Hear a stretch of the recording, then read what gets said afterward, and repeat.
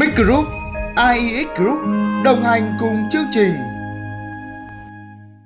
Thưa quý vị, chương trình hỗ trợ phục hồi nền kinh tế đang được triển khai đã giúp kích thích nền kinh tế, củng cố niềm tin của doanh nghiệp và người dân.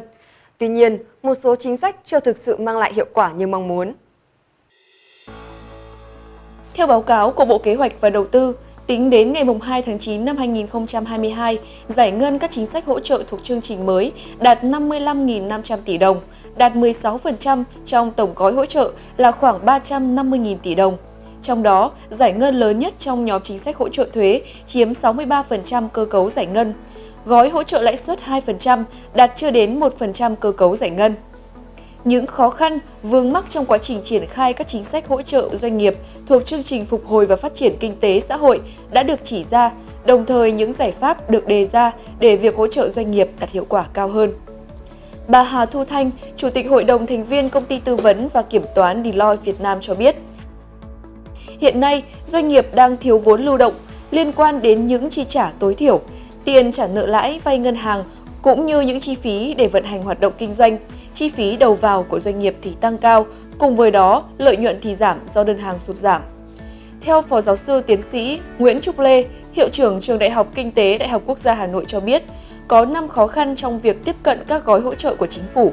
Doanh nghiệp lớn dễ dàng tiếp cận các thông tin về chính sách hỗ trợ qua văn bản chính thức, còn doanh nghiệp nhỏ lại tiếp cận thông tin qua kênh phi chính thức.